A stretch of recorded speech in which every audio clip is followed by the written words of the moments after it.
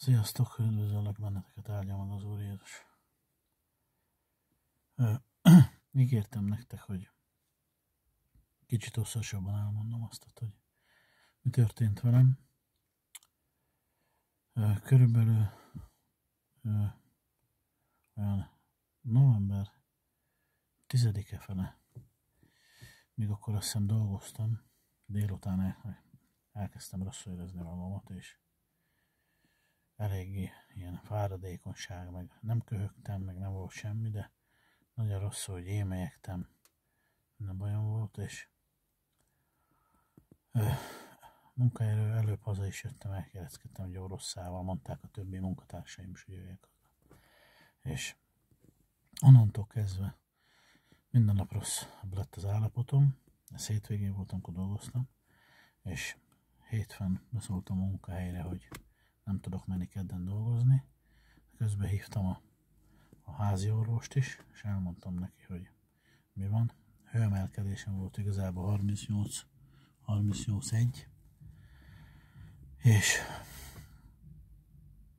elkezdődött. Kedden elmentem egy, egy tesztre, elküldött a doktornő, és levették a a tesztet, akkor csütörtökön vissza kellett mennem, akkor is levették, de péntekre már olyan rosszul lettem, hogy én fölhívtam a doktornőt, és mondtam, hogy nem bírom már, mert nem tudom nektek ezt így elmondani, 38 óta lázam, vagyis igazából nem is volt láz, de belül olyan volt, mint a százfokon éget volna minden belső részem a testem, a szívem, a májam, a tüdőm, mindenem, és Vér volt a vizeletembe. És ezt mondtam a doktornak, azonnal mondta, hogy szóljak a mentőknek én. És úgy is volt, szóltam a mentőknek, kijöttek, csináltak egy gyors tesztet, ami ö, negatív lett, de bevittek, és mégis ilyen elkülönítő szobába vittek be. De közben, ahogy beértem, eltelt három óra rossz, amire beértünk, és amikor beraktak egy üres korterembe, háromágyas korterembe, ahol se kilincs, ilyen rácsok voltak az ablakon, az ajtón, hat óra hosszá eltelt, mire odajött valaki, és mondták, hogy fognak adni gyógyszert, meg infúziót. És aznap kaptam egy olyan infúziót, ami, a vérnyomásomra, mert közül kiderült, hogy 169 volt a vérnyomásom, és a lázra nem is adtak, ami a belső láz volt, de ö, lefolyt egy adag infúzió a vérnyomásomra. És az egész éjszaka úgy telt, hogy nem tudtam megmozdulni fekve is. Tudjátok, az az érzés, hogy egy beteg ágyba fekszel, és nincs körülötted senki, és még jobban, ha lehet így mondani, még jobban belenyom az ágyba a betegség, de én tudom, hogy az ellenség volt, és annyira elvette az erőmet, hogy még halucináltam is, és nagyon-nagyon rossz volt az az első éjszaka. És ugyanígy telt a második is. Második nap kiderült a vérvételtől, hogy és vér, vért vettek, hogy húgyúti gyulladásom van, amely a belső részeim is ráment, és azért éreztem azt a nagyon nagy égetés belül. De közben még az se derült ki, hogy covid vagyok-e, vagy nem. És a második éjszaka,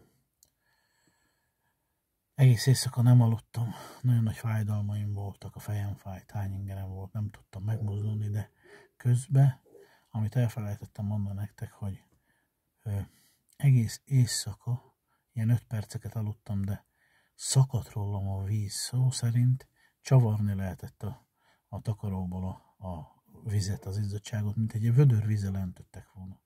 És hajnal 5 órakor jöttek be a, az ápolónők beöltözve, és azzal a fertőtlenítős kezükkel forgattak, meg vették a vért, vérnyomás mértek, és szétfagytam, a csontomig fáztam. Rázott a hideg, de ez egyfolytában így volt, akkor már azt hiszem nyolcadik napja, hogy rázott a hideg, és szakadt rólam a víz. És belül meg égtem úgy, hogy nem tudom elmondani nektek. És egyik hajnalban, második napon, amikor kórházban voltam,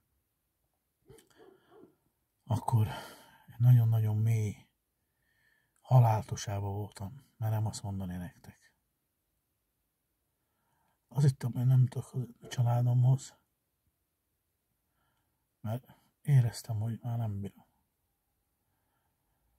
És imádkoztam én előtte is, de most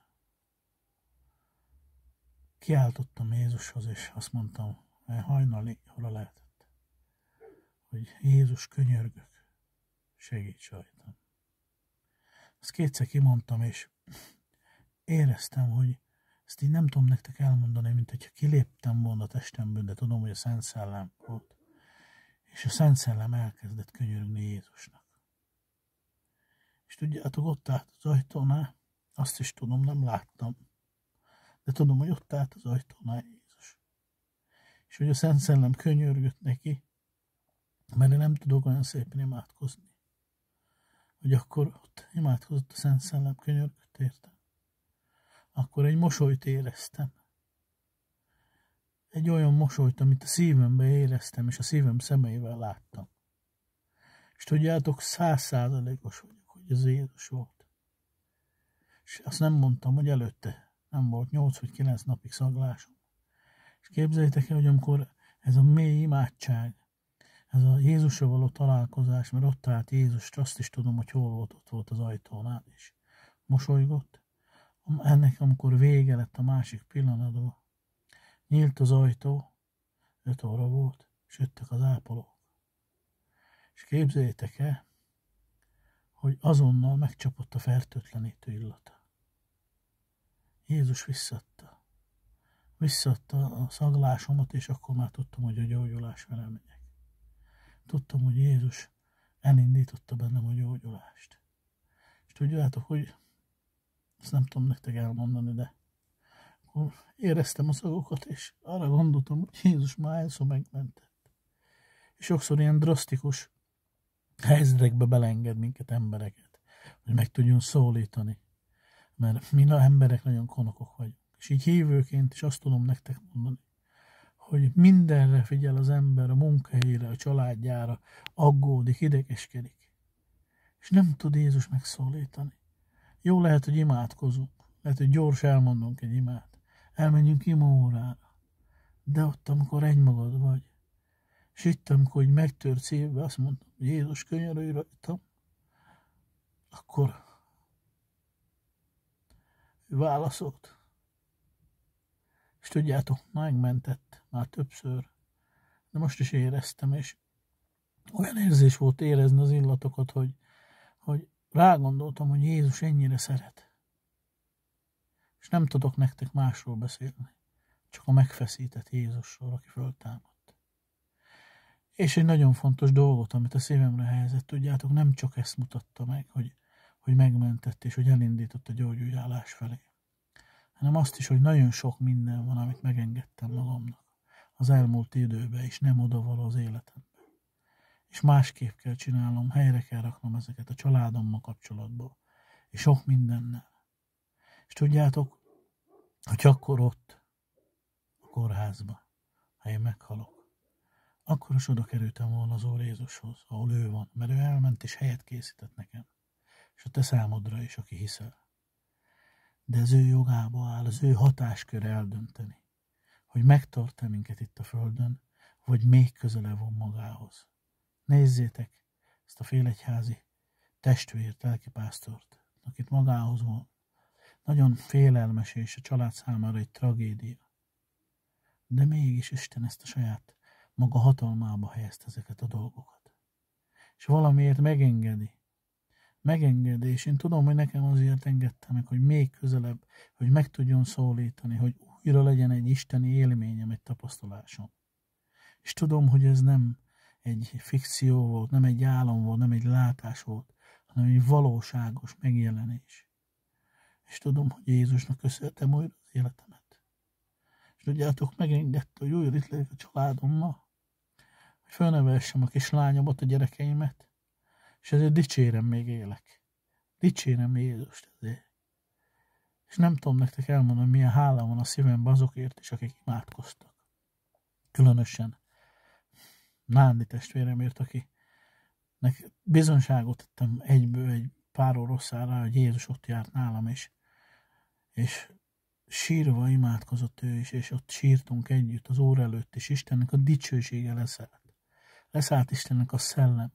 És tudjátok, ez egy, ez lehet, hogy egy olyannak, aki még Jézussal nem találkozott, ez egy, azt mondja, hogy ki vagy te, hogy te találkoztál vele. Tudod, Istennek a kezébe egy nagyon értékes ember vagyok, úgy, hogy te is, hogyha elfogadod Jézust megváltodnak. És ebben a nehéz időszakban, hogy egy kis védelem ott legyen a szívedbe, hogy az Istennek a pecsétje ott van a szíveden.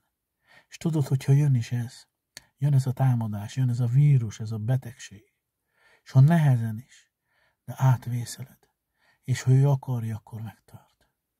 Ha ő akarja. Jézus, légy segítségül a hitetlenségemen. Ez benne van az írásban, a Bibliában. És valóban, ha nincs olyan hitünk, kérjük Jézust, hogy adjon nekünk erős hitet, hogy tudjunk benne kapaszkodni, tudjunk benne bízni. És tudjátok, semmi nem adnám oda ezt. Azt, hogy megismertem Istent. Hogy Jézus ma eljött közénk. És olyan csodálatos módon az embereket megközelíti. És én biztos vagyok benne, hogy őnek is fáj. De nézzétek meg jobbot, akinek minden megtörtént az életébe. Sőt, ettél súlyosabb dolgok. De ott van maga Jézus, akkor a földön járt, és kínok kínját átélte. Értem és érted. És most valamiért ezeket a dolgokat megenged az életünkbe. És nagyon sok embert most meg tud szólítani. De aki konok, aki továbbra is gonosz, az legyen gonosz, ezt mondja az írás. Sajnos azokon még Jézus is tud segíteni, akik nem nyitott szívvel vannak akik nem kérnek ebből. Ő nem erőszakos Isten. Ő szeretetteljes, ő békesség Istene. És az ő jobbjával, ő szent szellemével közel jön, körbefog az ő szeretetével. És tudjátok, engemet is ez a szeretet gyógyított meg. Az a szeretet, ami Jézusban van, az belülről kifelé gyógyít. Az a szívünket gyógyítsa, az a lelkünket gyógyít. És én tudom, hogy az én Istenem él. És tudom, hogy bármi történjék, ő helyet készített. Mindannyiunk számára, akik hisznek, akik újjászülettek, akik meg vannak váltva. És az a hiperkegyelem, ez a mindenféle sikerevangélium, ez nem, nem hozzátok való. Az Isten akkor is Isten, ha nem gyógyul meg a, a lábam, vagy ha nem gyógyul meg a, a fájos karom. Mert ezt ő dönti el. Ma is ugyanúgy gyógyít, igen, és tesz csodákat, hogy velem is csodát tett, hogy visszaadta az életemet, hogy meggyógyított, hogy elküldött a gyógyulás útján. De ezt nem lehet kikövetelni, és nem én mondom meg, hogy ő mikor gyógyítson, hanem ezt ő dönti el. Mert ő egy szeretetteljes, kegyelmes Isten, aki mindenkiről gondoskodik, és mindenkivel ott van. Éljetek át Isten kegyelmét, kérjetek Istent, és fogjunk össze imádságba, egymásért imádkozzunk. És próbáljuk egymást isteni szeretettel szeretni, ami önzetlen. Kívánom, hogy az Úr Jézus kegyelme, az Atya Isten szeretete legyen veletek, és a Szentlélek közössége kapcsoljon össze mi a szívünket, és az ő áldása, az ő szeretete bontakozzon ki a mi szívünkbe, minnyájának, akit ezt hallgatod, légy áldott, és a küzdesz, akkor kérd Jézust, ne legyél est, ne csak mondd el, hanem a szívedből kiárs föl Jézushoz, hogy Jézus, Dávid fia, könyörülj rajta. És ő, neki van rá lehetősége, ő mindenek felett van.